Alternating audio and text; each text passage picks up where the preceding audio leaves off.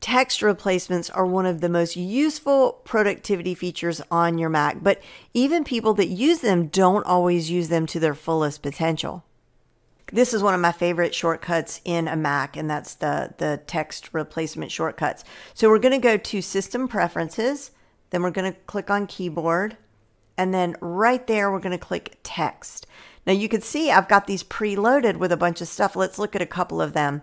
So especially the ones I use all the time. So my daughter's name is Scarlett. I've made the um, the shortcut SBL, okay? And so anytime I text SBL, then it it types out her name. Um, on my way, I find myself saying that all the time. So I've got OMW, and then that, that will populate when I type that with punctuation. On my way, exclamation point. Happy birthday. I just type HB and then you can't see all the emoji, but I've got happy birthday exclamation point and then there's a bunch of emoji. Um, the I've got a shortcut for my website frontrowvip.com is just FRVP. Um, let's see what else do I use a ton. Uh, my regular website is just WS. Very important when you create these replacements, these shortcuts, that you use um, consonants together, right? Like for my daughter's name, SBL, there's no word that would ever begin SBL. Otherwise, if you do something that starts with something like FAR or FOR or something like that, um, every single time you type those three letters, it's going to replace it with your replacement text, which is super annoying. Um, but even though these are just short little phrases, I want to show you what else you can do. So first, the way that you add a shortcut is you click this little plus button down there and you're going to type in your shortcut.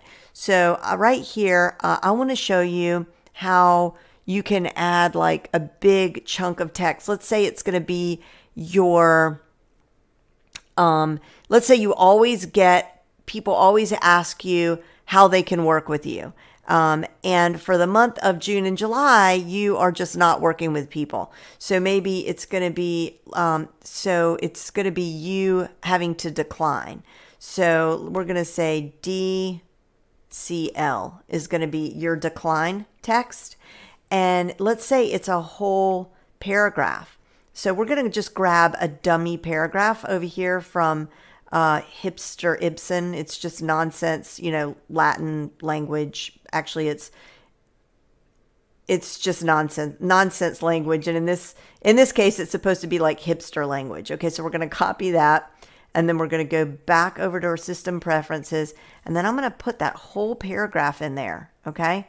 And that's it so let's see this shortcut at work so here we are in the body of an email and i'm going to hit I'm going to type in our shortcut DCL and then click return and there it is. It populated right there in the email.